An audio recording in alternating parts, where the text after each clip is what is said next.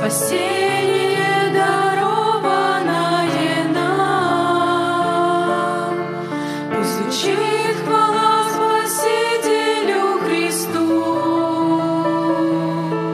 созидая